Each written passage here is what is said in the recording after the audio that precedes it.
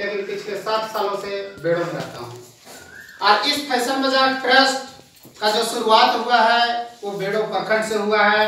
और आज पूरे समस्त झारखंड में यहाँ से संचालन हो रहा है। इस फ़ैशन बाज़ार ट्रस्ट का जो मेन उद्देश्य है, उसको हम लोगों को जानना चाहिए। जानना चाहिए ना? फ़ैशन बाज़ार ट्रस्ट क्या है? इसका सही जवाब यही होगा कि फ़ैशन बाज़ार ट्रस्ट एक समाज सेवी स्वयं सेवी संस्था है, जो हर एक गाँव में हर एक पंचायत में हर एक ब्लॉक में हर एक जिला में प्रशिक्षण केंद्र खोलने का काम कर रही है। है ना? जिस प्रशिक्षण के माध्यम से उस, जहाँ हमारा सेटअप होगा फ़ैशन बाज़ार ट्रस्ट का, वहाँ विभिन्न तरीका का प्रशिक्षण सिखलाया जाता है। जिसमें से आप लोगों के हाथ में एक छोटा पंपलेट होगा। है ना? जिसमें आप देख रहे हैं कि 10 तरह का ट्रेड है, जिसमें पहला है कंप्यूटर सिलाई ब्यूटिशियन एक्टिंग फ़ार्मिंग मोमबत्ती, अगरबत्ती फिनाइल टमाटर सॉस, नील, है ना?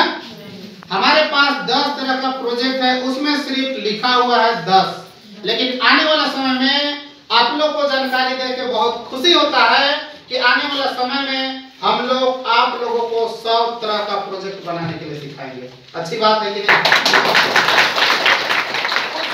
का चीज़ में आप जो सामान इस्तेमाल करते हैं, सारा कुछ आप सीख सकते हैं।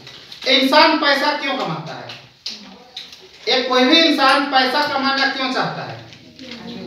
आगे बढ़ने के लिए इसका सच्चाई मेरे हिसाब से जवाब यही होता है कि कोई भी इंसान इसलिए पैसा कमाता है कि उसकी ज़िंदगी में जो ज़रूरत है, वो सुचारू ढंग से पूर्ति हो जाए। है ना? अब हमारी ज़िंदगी में कौन कौन सी चीज़ का ज़रूरत है? पहला ज़रूरत क्या है? रोटी, कपड़ा, मकान। है ना? हमारा जो भारत देश है, वो कृषि प्रधान देश है। हम लोग जितने भी लोग हैं, खेती बाड़ी पे आश्रित हैं ना और हमें कपड़ा आज ये कपड़ा ऐसा प्रोडक्ट है ऐसा सामान है जो हर एक लोगों को ज़रूरत है जिस दिन बच्चा पैदा होता है उस दिन उसके लिए कपड़ा और जिस दिन इंसान बूढ़ा होकर मर जाता है उस दिन भी कपड़ा खरीदता है। सच्चाई है कि नहीं है? उसके बिना हम नहीं रह सकते। एक आप लोग कहावत सुने होंगे ना? लकड़ी का जीते लकड़ी और मरते लकड़ी। देख तमाशा लकड़ी का। लेकिन उसको क्या है कि हमारे वैज्ञानिक युग में आज वो फेल हो चुका है है ना अब बहुत सारे लोग लकड़ी जलाना नहीं जानते हैं ये सच्चाई है कि नहीं है ना अगर आप टाउन में जाएँगे तो लकड़ी जलता है क्या वहाँ नहीं जब मरता है तब एक बार जलता है वो लकड़ी में ज़िंदगी भर उसका खाना कहाँ बनता है? गैस चूल्हा। सच्चाई है ना? लेकिन कपड़ा एक ऐसा है जिसको आज तक कोई ना बदल पाया है और ना शायद बदल पाया है। ऐसा संभव है क्या? कपड़ा हर कोई को ज़रूरत है कि नहीं है? है ना? तो माता बहनों भाई दोस्त चाचा आप लोगों से यही गुजारिश है कि आप उस चीज़ को समझिए। आज आपके गाँव से कितना रुपया बाहर चला जाता है ये आप लोगों को भी जानकारी नहीं होगा। जानकारी हो। क्या आप लोग जो कपड़ा धोने के लिए जो साबुन इस्तेमाल करते होंगे, जो सरफ इस्तेमाल करते होंगे, वो एक गाँव से कितना कितना रुपया बाहर चल जाता है, वो आज तक हम लोग को दिखाई नहीं देता आज हम सोच, बोलते हैं कि हम गरीब हैं, हमारा समाज गरीब है, हमारा झारखंड गरीब है। लेकिन हमारे झारखंड में, मेरे हिसाब से देखा जाए तो सिर्फ़ और सिर्फ़ एक ही बीमारी है। कितना बीमारी है? एक। उस बीमारी का नाम जानते हैं आप लोग? उस बीमारी का नाम क्या है? उस बीमारी का नाम है गरीबी। इस दीदी के लिए जोरदार ताली। झारखंड में अगर कोई बीमारी है तो उस बीमारी का नाम है गरीबी। और उस बीमारी का एक ही दवा है, और उस दवा का नाम क्या है? क्या नाम है उस दवा का? पैसा। सच्चाई यही है ना? जिसके पास ना हो पैसा, उसका जग में जीवन कैसा? है ना? बिल्कुल हमारे जैसा। हम लोग के पास क्या? कुछ नहीं। है क्या? अगर आप दुनिया में कुछ नहीं करते हैं तो आप ज़िंदा हैं या मर जाएँगे, दुनिया को कोई प्रभाव नहीं पड़ने वाला है। है क्या? इस गाँव में बहुत सारे लोग पैदा हुए, बहुत सारे लोग मर गए। है ना? उसको दुनिया जानता है क्या? कि फलना मर गया। लेकिन आज वैसे महाअनुभवी महाक्षत्रिय जो समाज के लिए काम किया जिन्होंने आज आप महात्मा गांधी को जानते होंगे। जानते होंगे ना? महात्मा गांधी आपका क्या लगते थे? कुछ लगते थे क्या? दादा परदादा कुछ लगते थे? नहीं ना? लेकिन सारे लोग इसको जानते हैं। आज नरेंद्र मोदी को सारे लोग जानते हैं। इनमें से किसी का रिश्तेदार लगता है क्या?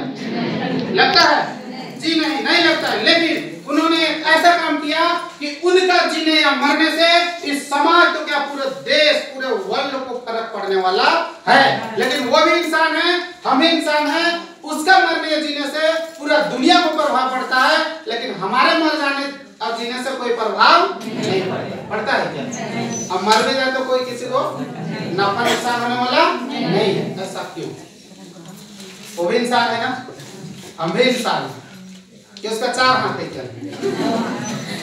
नहीं है ना?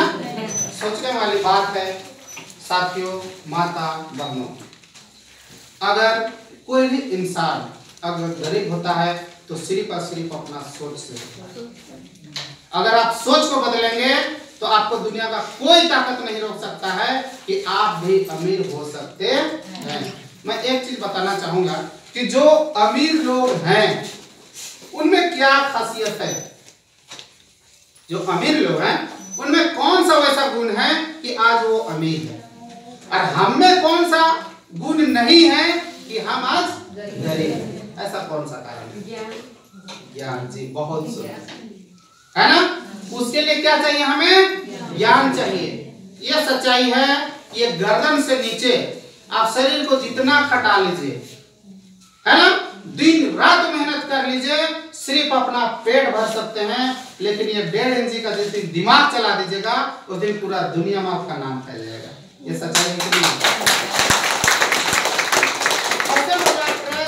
बहुत बड़ी चीज़ नहीं है। और अगर आप देखें तो बहुत बड़ी चीज़ है। है ना? क्योंकि पैसा कमाना बहुत बड़ी बात है, लेकिन पैसा कमाना एक तरीका से देखें तो बहुत बड़ी बात नहीं है। आज आप लोग इलेक्शन के लिए वोट देने जाते होंगे। जब वोट देने का समय आता होगा तो हर एक लोग अगर आप पाँच सौ रुपए का डिमांड कर लेंगे हज़ार रुपए का डिमांड कर लेंगे कि हम वोट देंगे लेकिन हमको एक हज़ार रुपया चाहिए एक बोतल तो चाहिए मिलता है कि नहीं मिलता?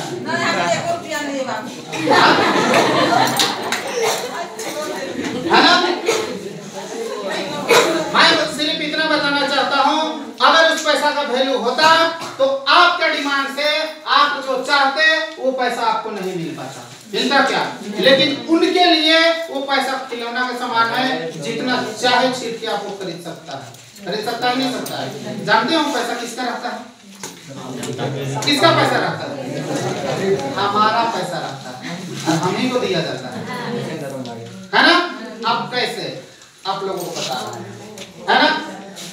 आज आप लोग साबुन लगाते होंगे? कितने लोग साबुन से नहाते हैं? पर हाथ खड़ा कीजिए तो। सामाना क्या है? हाथ खड़ा कीजिए। सारे लोग?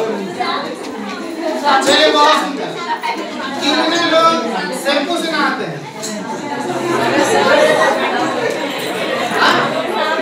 दोनों से नहाते हैं। आप शांत हो जाइए। ठीक है? बहुत अच्छा लगा। ये सुन के अच्छा लगा कि आप लोग साबुन से नहाते हैं। मिट्टी से